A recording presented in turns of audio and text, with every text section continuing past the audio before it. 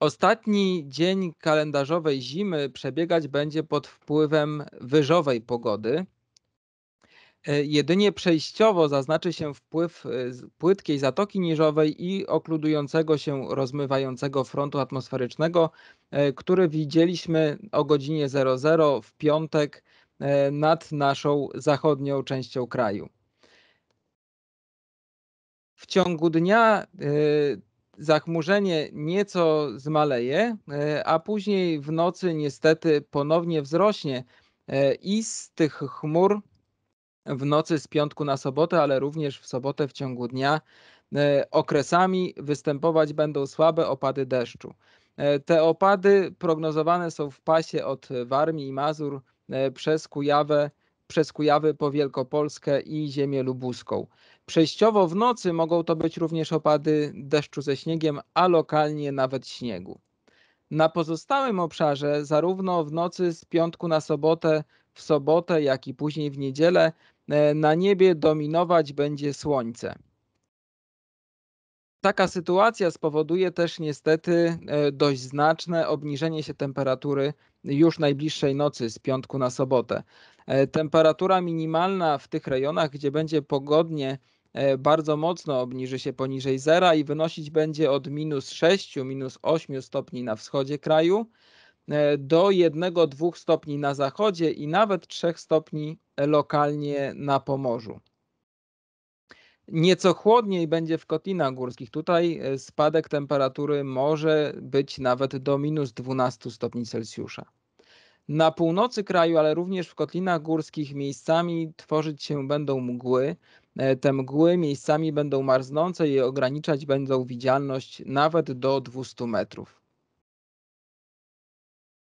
W sobotę e, poza pasem e, Polski północnej, północno-zachodniej, gdzie w związku z tym frontem, zwłaszcza w pierwszej połowie dnia, e, pojawiać się będzie nieco więcej chmur, na pozostałym obszarze dominować będzie słońce i będzie podobnie ciepło jak w piątek w ciągu dnia. Temperatura maksymalna E, osiągać będzie od 6-7 stopni e, na wschodzie kraju e, do nawet 10 stopni na południowym zachodzie. Kolejna noc z soboty na niedzielę to już noc pogodna. Jedynie miejscami na północy pojawiać się będzie zachmurzenie umiarkowane i tutaj też, zwłaszcza w rejonie Zatoki Gdańskiej, mogą utworzyć się miejscami mgły, E, które ponownie ograniczać będą widzialność do około 200 metrów. Na pozostałym obszarze noc będzie pogodna, e, a przez to też również dość chłodna.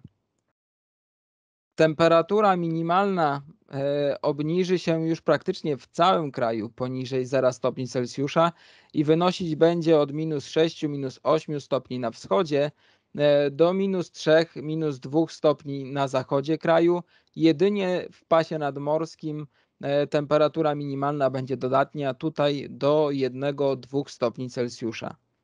Ponownie w kotlinach górskich spodziewamy się obniżenia temperatury nawet do minus 12 stopni.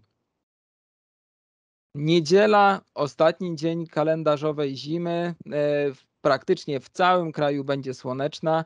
E, umiarkowane zachmurzenie może okresami pojawiać się jedynie e, nad Polską północną, północno-wschodnią, e, ale tam również nie będzie ono utrzymywać się przez cały dzień i pojawi się tam również sporo słońca.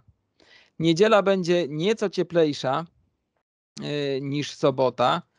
Temperatura maksymalna od 7-9 stopni na wschodzie Polski do nawet 11 stopni miejscami na południowym zachodzie. Rozpoczynająca się w poniedziałek kalendarzowa wiosna przyniesie dalszą kontynuację słonecznej, wyżowej pogody w całym kraju e, i stopniowo postępujące ocieplenie.